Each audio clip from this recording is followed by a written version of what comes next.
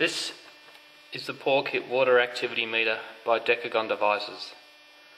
The Pawkit allows you to make quick measurements of water activity to ensure the safety of your product. It is designed to be simple, rapid and portable, very easy to use and requires very little maintenance. The accuracy of the Pawkit is plus or minus 0.02 water activity. Main features of the instrument are the two toggle buttons. The first button here is, active, is used to activate a measurement. The button on the right is mainly used when in calibration mode. Here we have the sensor area, sorry, the LCD display, where the water activity measurement is shown. At the rear of the unit is where we enter the sample. As you can see the shape here allows the sample cup to be presented. This is the sensor filter and this is the thermopile sensor. I will now show you how to read a, a measurement of water activity. What I have here is just a random liquid sample in the sample cup, filled to about halfway. We place this on a flat surface using our Pawkit.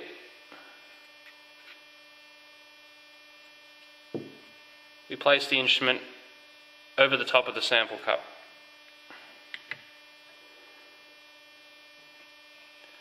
Once that's on, we turn the instrument on by pressing the left button. And to commence reading, we press the left button again.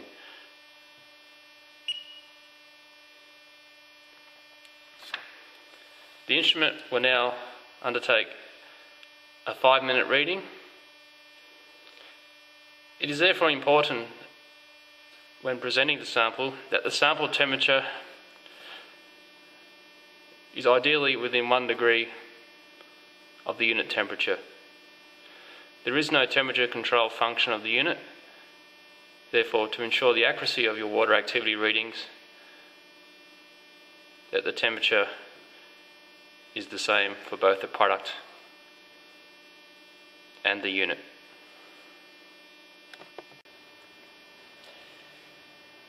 The instrument, the instrument has almost completed its five minutes process. The water activity reading is displayed here and the temperature. At the end of the five minutes, the machine will beep a few times to indicate the completion of the measurement.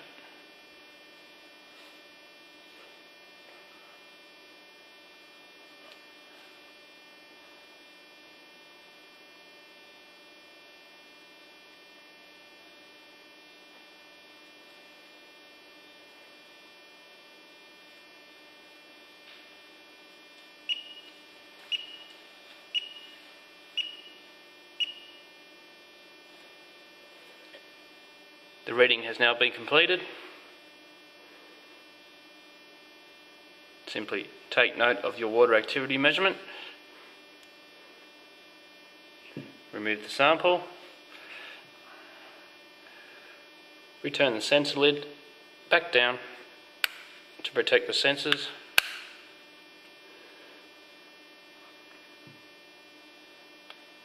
And when you're ready for your next measurement, it's simply a matter of preparing your sample for the next measurement,